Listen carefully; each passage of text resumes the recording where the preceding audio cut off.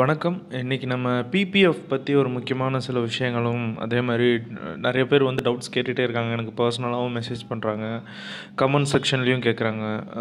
So அதை பற்றின ஒரு சின்ன டிஸ்கஷன், ஷார்ட் டிஸ்கஷன் தான் இன்றைக்கி நம்ம பார்க்க போகிறோம் ஸோ பிபிஎஃப் பற்றி நம்ம ஏற்கனவே ஒரு வீடியோ போட்டிருந்தோம். அந்த வீடியோக்கு நான் பேசிக்காக ரொம்ப பேசிக்காக போட்டிருந்தேன். ஸோ அந்த வீடியோக்கு கீழே தான் வந்து நீங்கள் வந்து நிறையா பேர் வந்து நம்ம சப்ஸ்கிரைபர்ஸ் வந்து ஆர்வமோட கமெண்ட் பண்ணியிருந்தாங்க. நிறைய டவுட்ஸ் கேட்டிருந்தாங்க. ஸோ அதுக்கான ஒரு சின்ன ஒரு பதிவாக அந்த பதிவு இருக்கும்னு நம்புகிறேன் ஸோ ஃபஸ்ட் வந்து பிபிஎஃப் நம்ம முன்னாடியே ஏற்கனவே பார்த்துட்டோம். ஸோ இருந்தாலும் ஒரு சின்ன அவுட்லுக் மாதிரி நம்ம ஒன்று பார்த்துருவோம். பிபிஎஃப்ன்றது வந்து பார்த்தீங்கன்னா 15 இயர் ஸ்கீமு.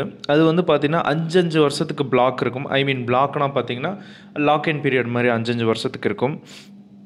ஸோ வந்து பார்த்திங்கன்னா இப்போ ஒரு வருஷத்துக்கு பன்னெண்டு தடவை வந்து இன்வெஸ்ட்மெண்ட் பண்ணலாம். பன்னெண்டு தடவை பன்ன பன்னெண்டு தடவைனா யூ மீன் பார்த்தீங்கன்னா, மாதத்துக்கு ஒரு தடவை வந்து இன்வெஸ்ட்மெண்ட் பண்ணலாம். இதில் ஒரு முக்கியமான விஷயம் என்னம்னா, மாதத்தில் அஞ்சாந்தேதிக்குள்ளே வந்து நம்ம வந்து அந்த மாதத்துக்கான ஃப வந்து இன்வெஸ்ட்மெண்ட் பண்ணிட்டோம்னா, அது வந்து நம்மளுக்கு ஒரு முக்கியமான ஒரு ஒரு ஒரு அதிகமான லாபத்தை கொடுக்கக்கூடியதாக ஒரு இன்ட்ரெஸ்ட் கால்குலேஷனில் இருக்கும்.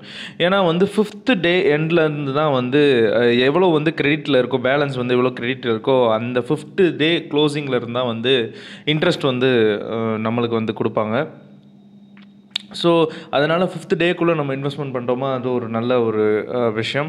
அதே மாதிரி பார்த்தீங்கன்னா, நிறையா பேர் என்னென்னு பார்த்தீங்கன்னா, பிகினிங் ஆஃப் த மந்த்லேயே லம்சமாக போட்டுருவாங்க.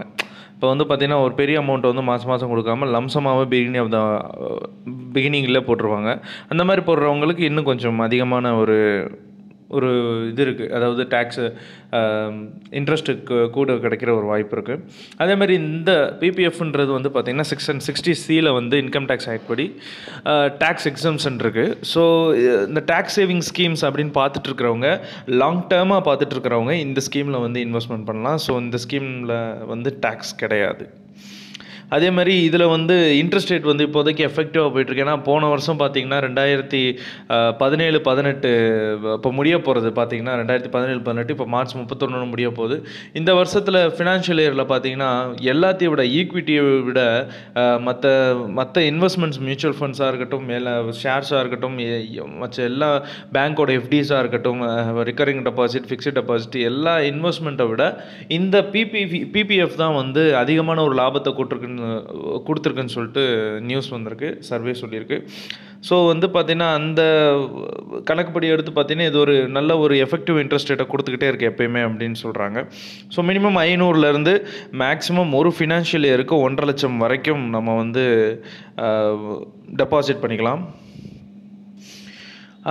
அந்த ஒன்றரை லட்சன்றது வந்து பார்த்திங்கன்னா ஒரு ஃபினான்ஷியல் இயருக்கான லிமிட்டு தான். அதை அதை தாண்டி அந்த ஃபினான்ஷியல் இயரில் வந்து லிமிட் வந்து நம்மளால வந்து வைக்க முடியாது. ஸோ ஒரு ஃபினான்ஷியல் இயருக்கு 1,50,000 தான்.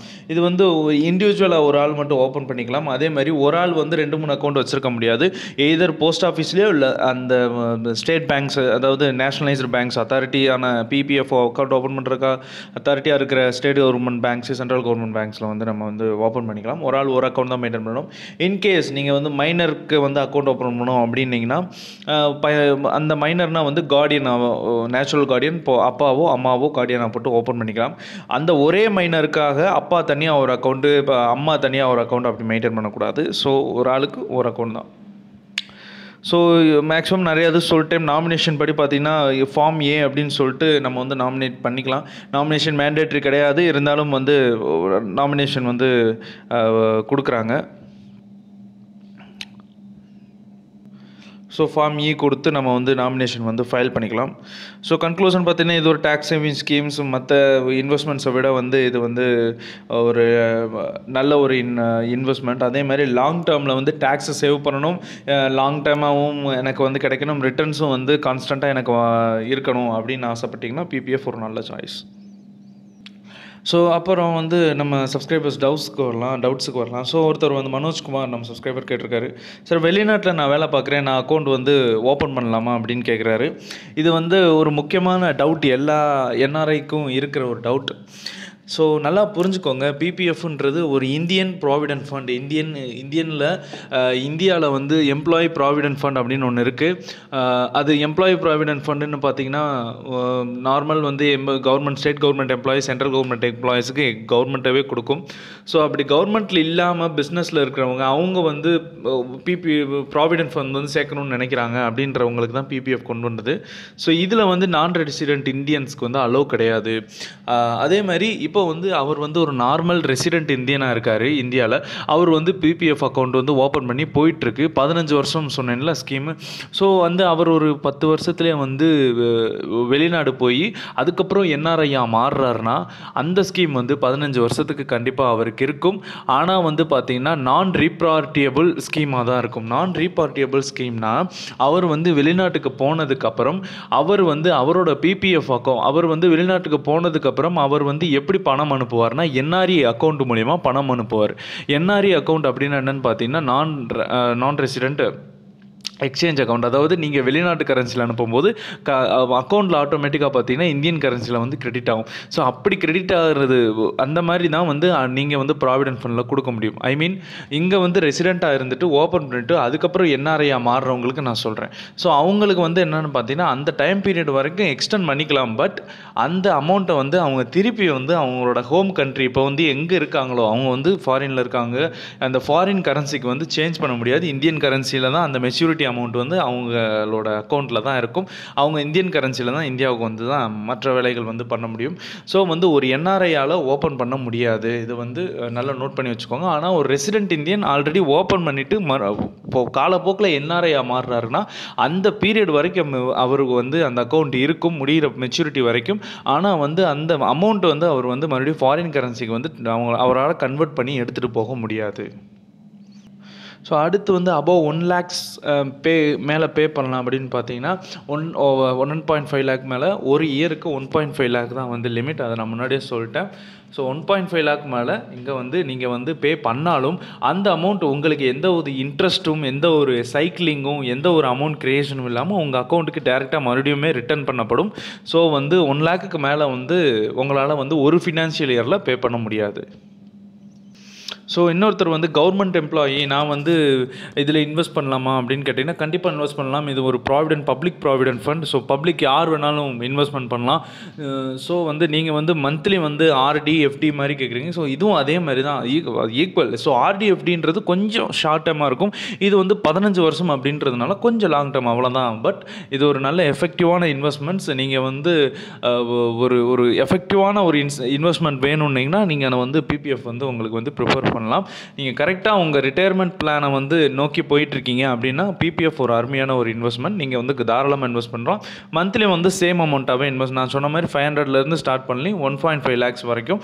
ஒரு வருஷத்துக்குள்ள limit one point five lakhs so அது வந்து அதை வந்து பார்த்துக்கோங்க. ஸோ ஃபைவ் ஹண்ட்ரட்லேருந்து நீங்கள் இன்வெஸ்ட்மெண்ட்டை ஸ்டார்ட் பண்ணலாம் தாராளமாக ஸோ இன்னொன்று ஒரே மாதத்தில் ஒன்றரை லட்சம் அப்படின்னு கேட்டிருக்கீங்க. ஒரே மாதத்தில் ஒன்றரை லட்சம் டெபாசிட் பண்ண முடியுமா அப்படின்னு கேட்டிருக்கீங்க. ஸோ பண்ணலாம் சார் பட் அந்த ஒன் இயருக்கு நான் முன்னாடியே சொன்ன மாதிரி லம்சம் அமௌண்ட்டாக முன்னாடியே போட்டுருவாங்க அப்படின்னு சொன்னேன்ல. ஸோ இது அந்த மெத்தட் தான் லம்சம் அமௌண்ட்டாக நீங்கள் கொடுக்கலாம். பட் அந்த ஒன் இயருக்கு மற்றபடி ஒன்றரை லட்சம் நீங்கள் பே பண்ணிட்டு மறுபடியும் நீங்கள் வந்து இன்வெஸ்ட்மெண்ட் பண்ணீங்கன்னா ஆனால் அந்த ஒன் இயருக்கு வந்து உங்களுக்கு அதிகமாக ஒன் ஒன்றரை லட்சத்துக்கு தாண்டி எவ்வளோ பண்ணுறீங்களோ அதுக்கு வந்து உங்களுக்கு வந்து இன்ட்ரெஸ்ட் கிடையாது. உங்களுக்கு வந்து ரிட்டர்ன் பண் பண்ணிடுவாங்க so instead of monthly deposit can it be yearly pay பண்ணலாமா அப்படின்ட்டு இருக்கீங்க. இது எல்லாமே வந்து இயர்லி பே பண்ணலாமா மந்த்லி பே பண்ணலாமா எல்லாமே வந்து uh, உங்களோட ஸ்கீமை பொறுத்தது. பட் இதோட மெயின் ஸ்கீம் என்னன்னு பார்த்தீங்கன்னா ஒன்று லம்சமாக பே பண்ணணும் இல்லை மந்த்லியாக தான் பே பண்ணணும். ஸோ லம்சமாக பே பண்ணுறவங்க பே பண்ணிக்கலாம் மந்த்லியாக பே பண்ணுறவங்க பே பண்ணிக்கலாம். So can I open PPF account through salary so கண்டிப்பாக ஓப்பன் இல்லையா தாராளமாக ஓப்பன் பண்ணலாம். என் சேலரி அக்கௌண்ட்டுலேருந்து பிபிஎஃப் அக்கௌண்ட் ஓப்பன் பண்ணலாம். தாராளமாக ஓப்பன் பண்ணலாம். ஸோ இன்ட்ரெஸ்ட் ரேட்லாம் பார்த்தீங்கன்னா வந்து அப்பப்போ வந்து சேஞ்ச் ஆகிட்டே இருக்கும். கரண்ட் ரேட் வந்து நம்மளால் வந்து மார்க்கெட் ரேட்டை வந்து சொல்ல முடியாது. அதே மாதிரி முடிஞ்ச அளவுக்கு வந்து நீங்கள் இப்போ வந்து கண்டினியூஸாக ஒரு ஒரு டைப்பில் நீங்கள் பே பண்ணிகிட்ருக்கீங்களா அதே வந்து கன்யூ பண்ண பாருங்கள் டக்கு டக்குன்னு சேஞ்ச் பண்ணாமல் இருந்தீங்கன்னா நல்லாயிருக்கும் அக்கௌண்ட் வந்து ஒரு வால்டிலிட்டி இல்லாமல் உங்களுக்கு வந்து ரிட்டர்ன்ஸ் கிடைக்க வாய்ப்பு இருக்குது ஸோ ரொம்ப நன்றி ஃப்ரெண்ட்ஸ் இந்த வீடியோவுக்கு பெரிய ஆதரவு இருந்துச்சு. நிறைய பேர் டவுட்ஸ் கேட்டிருந்தாங்க. உங்கள் டவுட்ஸ்லாம் மேக்ஸிமம் கிளியர் பண்ணியிருக்கேன்னு நினைக்கிறேன். இன்னும் உங்கள் டவுட்ஸ்லாம் கிளியர் ஆகலைன்னா நீங்கள் வந்து மறுபடியும் கமெண்ட் பண்ணலாம். டேரெக்டாக நான் வந்து உங்களுக்கு வந்து சீக்கிரமாக வந்து ரிப்ளை பண்ண காத்திருக்கேன். ஸோ நிறைய சப்ஸ்கிரைபர்ஸ் வந்து ஃபோன் பண்ணிலாம் டவுட் கேட்குறாங்க ரொம்ப சந்தோஷமாக இருக்குது ஸோ இப்போ வந்து வீடியோ கண்டினியூஸாக வர்றதில்லைன்னு நிறைய பேர் கேட்டுட்டு இருந்தாங்க காரணம் வந்து சில சில ஒர்க்கு ஒர்க் டென்ஷன் நிறைய இருந்துச்சு. அதே மாதிரி நான் வந்து என்னால் வந்து கான்சன்ட்ரேட் பண்ண முடியல. இனி வந்து வீடியோ வந்து தொடர்ந்து வந்து வந்துக்கிட்டே இருக்கும். ஸோ எல்லாத்துக்கும் நீங்கள் ஆதரவு கொடுங்க. ரொம்ப நன்றி.